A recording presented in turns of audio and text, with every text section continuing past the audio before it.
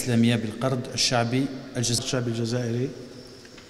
السادة شيوخنا الأفاضل وإمتنا أعضاء اللجنة الشرعية الرقابة الشرعية للقرض الشعبي الجزائري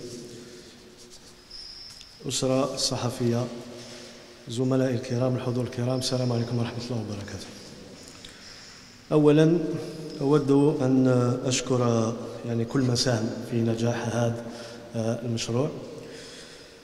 وأخص بالذكر السيد المدير العام وكذلك شيوخنا الأفاضل الذين سهروا على إنجاح مثل هذه المشاريع وخاصة يعني من جانب الموافقة والمطابقة لأحكام الشريعة الإسلامية. وكذا زملائي وفريق أصيام اللي اشتغلوا البارح حتى 12 تاع الليل ولا باش نكملوا. بارك الله فيكم ربي يجازيكم.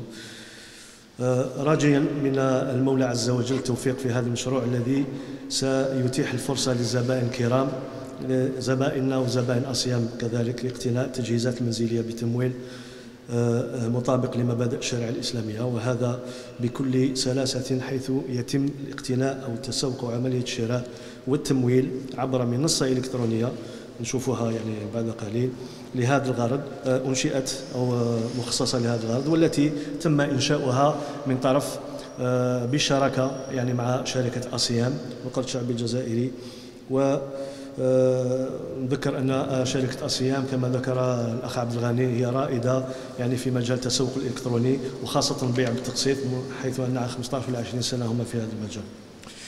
وأخيرا يعني أجدد شكري للجميع بارك الله فيكم والسلام عليكم ورحمة الله وبركاته. يفتح قريبا.